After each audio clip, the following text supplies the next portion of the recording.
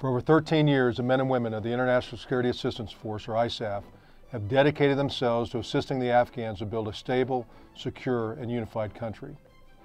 As we complete the ISAF mission, it is important to take a moment and recognize the impacts and contributions of each of the more than 50 nations which have served as part of this historic coalition.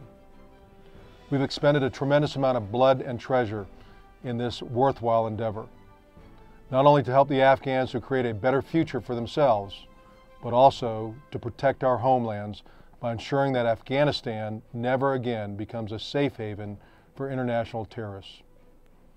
If we compare the Afghanistan of today to what it was in 2001, we can see that in spite of many challenges, we've been remarkably successful in our campaign.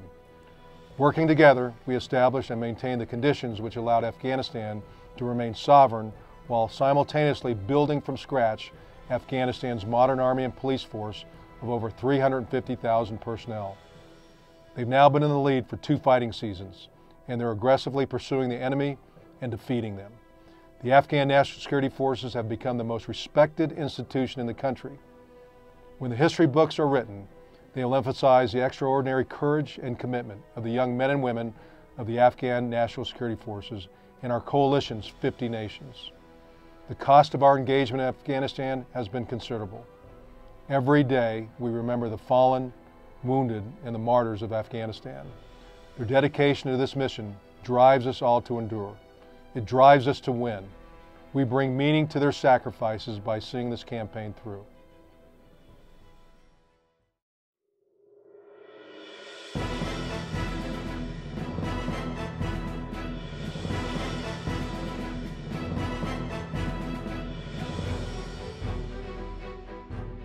At the early stage of the ISAF mission, nations made a pledge to help Afghanistan establish stability and increase security. These nations have selflessly contributed to the ever-growing stability of the region and the growth and maturity of the Afghan National Security Forces.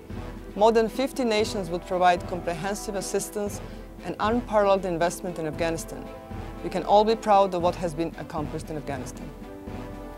Just 11 years ago, in 2003, with just barely 2,000 Afghan security forces, ISAF faced the daunting road to train, advise and assist our Afghan partners. But from the beginning, Afghans have demonstrated bravery and self-determination for a sovereign democratic country. What had started largely as an infantry force has grown into a cohesive organization with specialized skills that can carry out complex operations largely without ISAF.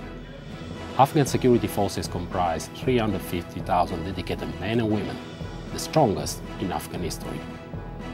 13 years into the mission, we are coming to the end of ISAF. We have achieved what we came to Afghanistan for. 50 nations stood side by side to support the Afghans in their struggle.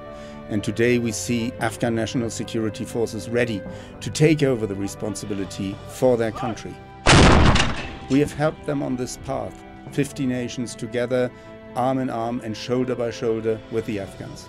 We are proud of what we achieved and we are proud of what we see in Afghanistan. As we transition to the Resolute Support Mission, we must stay the course and finish the job at hand. I thank everyone within ISAF for your hard work and endurance, and I especially want to thank your families who sacrifice so much to support us here. It's my profound privilege and honor serve alongside you in our noble cause. Thank you.